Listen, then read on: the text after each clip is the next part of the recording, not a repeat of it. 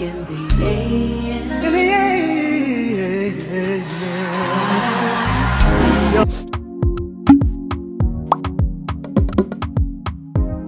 What's going on y'all? My name is Jaron, the founder and owner of the Jaron M. LeGrair Studio. And in this video, we're going to analyze, I can't even put her in words, Miss Lalah Hathaway. I, don't, I don't know how to describe her. She's, she's just a singing being. She is just a unicorn of voices. I just don't know how to describe her. You all have requested her and I have been hesitantly looking for a video for her. But I mean, she's a phenomenal singer. And the reason I was hesitating because man, what do I say about such a singer? But I'm super excited to analyze her. She is amazing and she does so many wonderful things with her voice. And so without further ado, I want to analyze Miss Lalah Hathaway singing Ultimate Relationship by Donald Lawrence.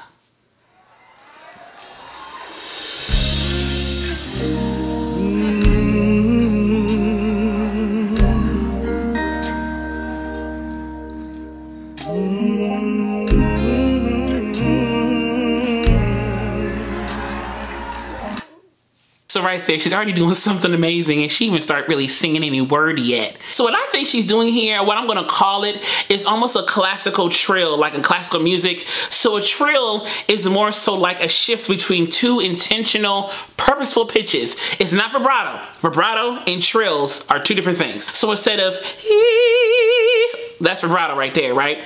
But if I want to do a trill, I would do and so she said, mm. So she did that trill down below. Mm. I can't even do it as well as she can do it. But that's what she was doing down there. It's almost like a classical trill that she kind of applied to her vibe and to her music, and to her aesthetic.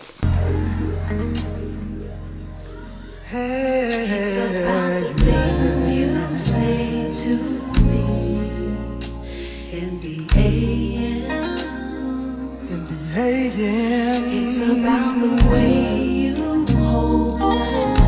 The way you hold me in the AM. Something about a sweet Something about a sweet rendezvous in the AM. in the AM. God, I like spending God, time with you.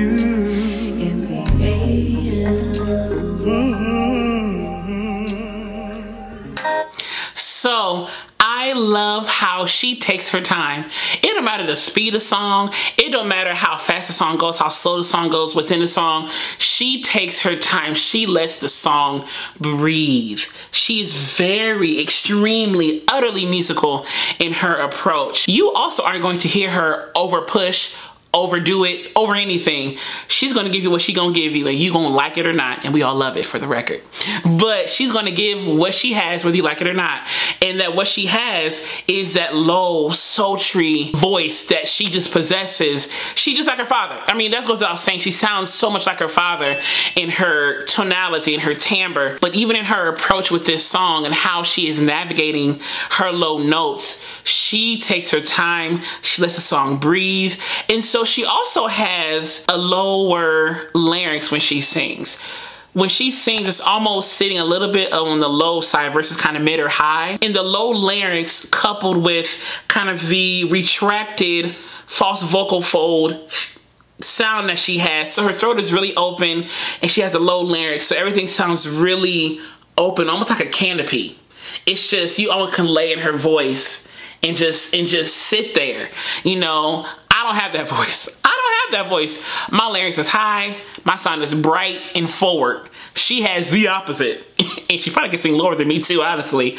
But she has that low depth that you can just dwell in. It's really unique. And shout outs to lower voiced women. I have a special place in my heart for y'all. I love a good contralto, a good low alto, woman, anything like that. I love classic, it don't matter what you are, classical, soul, R&B, jazz, gospel. I just always have had an appreciation for women who sing low and who still sound good, who aren't compromising who they are because they feel they have to sound a certain way. They're just singing what they got. And it is so good. I love it. I love it. It's and the sun is on its way up. I'm half asleep, waiting for your touch to lift me up. I like the way you call me, the way you whisper peace, things you reveal. God, I know real. Nothing like the way you make me feel. It's about the things you say to So she did the trill again, feel. But she did a head voice trill right there, feel. And so she's infusing these vocal tricks. Even call them runs, they're tricks that she has. I mean, she has a singing a harmony by herself trick that we all know and love, but she has these vocal tricks that make her so unique, even more so than what she already is. And so just hearing her do these different things that most of the vocalists are not thinking about doing. Who would have thought to do a classical trill in a gospel ballad like this? Number one, that takes a skilled, gifted singer to think to do that in a song like this and it make it make sense. This is great. This is great. It's about the things you do, things you say to me in the AM. It's about the way About the way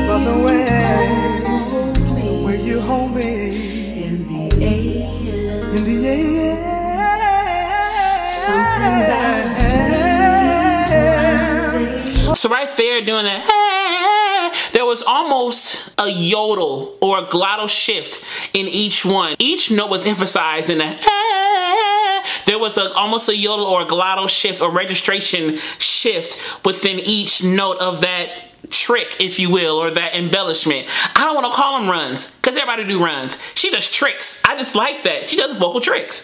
And so she had a little glottal yodel onset for each note and emphasize each note almost like an instrument. Uh, I don't know what instrument I would call it right now. It's going to come to me. But almost like an instrument that she did that. Okay? Phenomenal.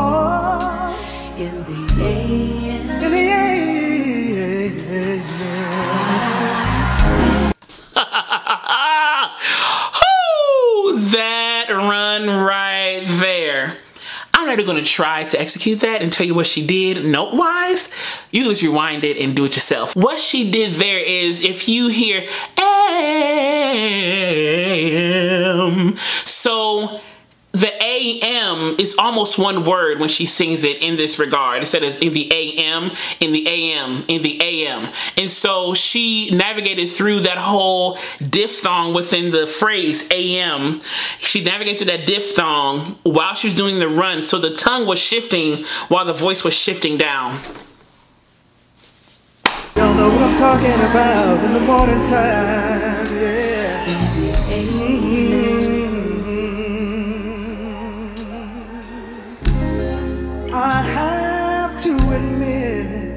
this is the way to start the day. Ah, raptured in love, Jesus, your love, it takes me away. Oh, love the way you call me. So she came from a head voice and did a scale. I don't know what kind of scale it was, but she did some kind of scale that came from head voice. She shifted registration to chest voice and came over an octave, well over an octave. She came from ah to here. So she navigated through head voice, registration shift, chest voice, and back down and hit each note seamlessly.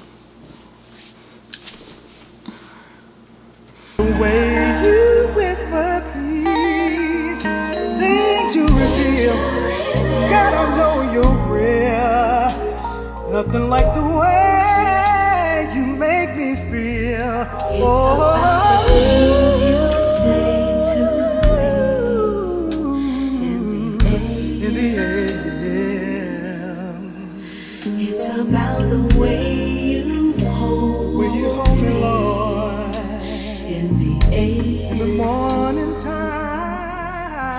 Something about a sweet Something about a sweet rendezvous In the A.M. In the spend yeah. Lord, I love you In the A.M. In the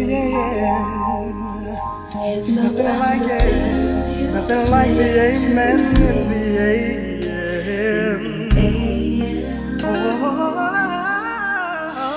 It's about the way. So in that run, she did ho ho ho ho ho ha ha ha ha. So she had an H in front of each note. I don't even call it a run. I keep forgetting not to call it a run. That was a vocal trick. I would call that an embellishment. I don't want to call it. It's phenomenal. I don't care what it, I don't care what it's called. It's phenomenal. She had an H in front of each note that she went up on and then came back down. And each note was placed well within the chords, well within the theory of the song, the music theory of the song. It's very important when you do runs to understand how to navigate musically through the song so you know how to place your runs pitch wise because you have to understand where the song is going to understand how to run to it. It's almost like I can't run aimlessly, I'm a bump into something physically. So if I'm running aimlessly with my voice or doing something with my voice aimlessly, I don't know where I'm going, or if I know the song enough, I shouldn't be doing no kind of run trying to embellish and be all cute because I'm gonna get lost and bump my head into something trying to do it, you know? It's that same concept. Know where you wanna go when you do a run. Have a beginning and an end. Know where you wanna start or you wanna finish, okay? And know what to do in between, okay? And knowing doesn't always mean like mapping each note out, but knowing how you wanna navigate through that. And a lot of that comes with experience. It's not so much I'm gonna sit down and write each run out. Now you can write each run out. Have at it if you want to, but most people are experienced enough to know how to navigate through certain chordal structures, chordal patterns, because they have enough experience musically and intellectually to understand how to navigate through those little chordal structures and things like that. She clearly knows the song enough, obviously, to sing the way she is singing on here, you know?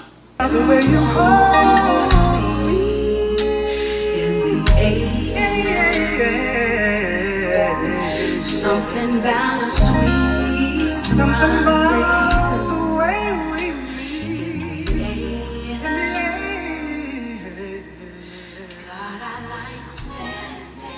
time. she is like butter. She's like butter when she sings. It's just it's just so billowy and so comforting and so warm. She's phenomenal. Remember to click subscribe down below and click the alert button next to it so you know when the next video is posted.